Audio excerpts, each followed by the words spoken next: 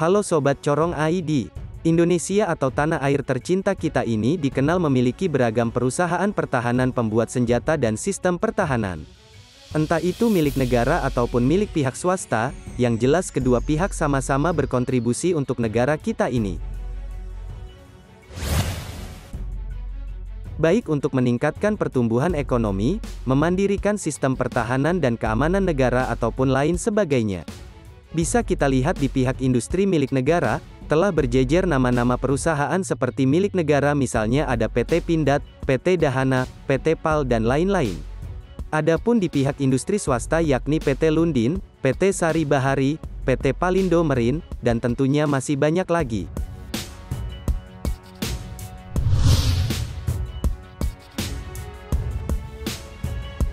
Dengan banyaknya industri pertahanan yang dimiliki Indonesia, kini sudah saatnya Indonesia bergerak, menggebrak dunia dengan masuk ke dalam potensi perdagangan global.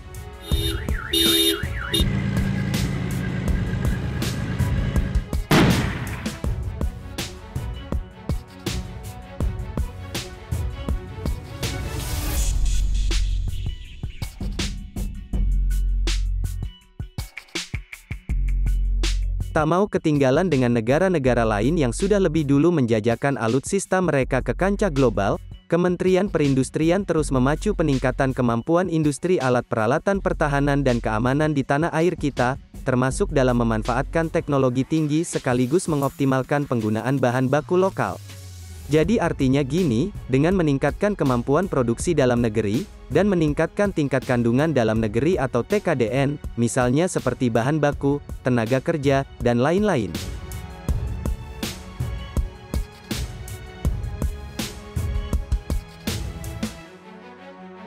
Maka produk-produk industri pertahanan Indonesia dapat menjadi tuan rumah di negeri sendiri, sekaligus bisa menjadi raja di ASEAN, perlahan ya sob, mulai dari ASEAN dulu, baru nanti bersaing dengan Paman Macron dan kawan-kawannya.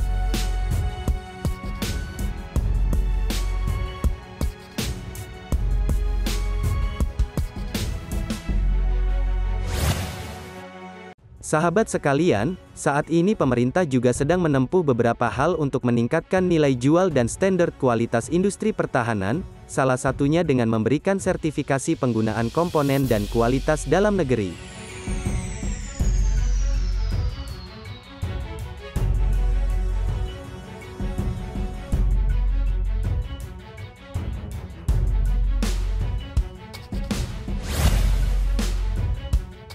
Global Firepower menyebutkan, dalam hal anggaran belanja militer, Indonesia mengeluarkan 6,9 miliar dolar AS atau setara 98 triliun rupiah.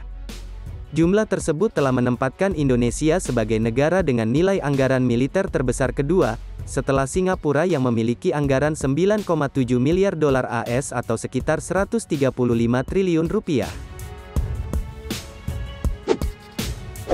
Dengan menargetkan negara tetangga terdekat khususnya pasar ASEAN, pangsa pasar ekspor industri ketahanan Indonesia saat ini sudah menjangkau negara-negara di kawasan ASEAN, di antaranya Brunei Darussalam, Malaysia, Filipina, dan Myanmar. Bahkan telah mencapai beberapa negara di benua Afrika, jadi artinya enggak kaleng-kalengkan sob.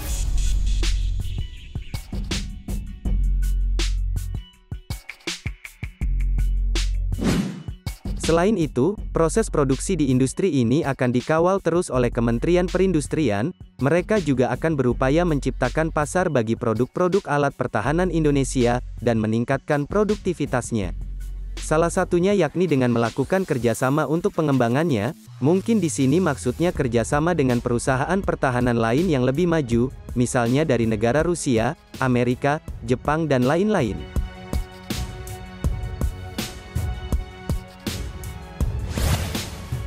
Selain melakukan kerjasama dengan negara lain, langkah selanjutnya yang dilakukan untuk meningkatkan TKDN industri pertahanan, yakni dengan membentuk holding cluster industri pertahanan dan keamanan nasional. Jadi begini, nantinya semua industri yang terkait dengan pertahanan, mulai dari hulu pembuatan bahan baku hingga hilir di dalam negeri akan digabung dan dibuat rantai kerjasamanya, jadi saling berkaitan gitulah sob, istilahnya strategi rantai supply begitu.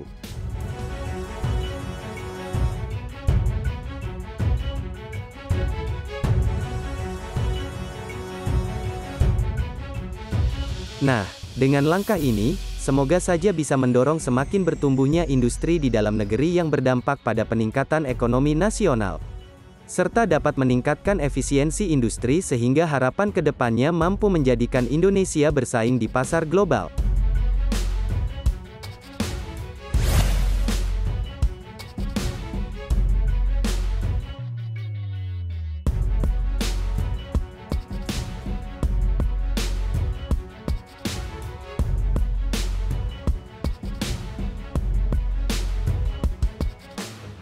Sahabat sekalian, dengan upaya-upaya tersebut, diharapkan penggunaan komponen dalam negeri dapat meningkatkan kegiatan perekonomian yang membantu peningkatan ekonomi dalam negeri tersebut. Sehingga roda ekonomi nasional dapat selaras dengan penjajakan target go global dari berbagai sektor industri di Indonesia. Industri alat pertahanan dan keamanan memiliki potensi besar dalam pasar global, sehingga sertifikasi TKDN dapat memberikan manfaat dalam pengembangan industri dalam negeri.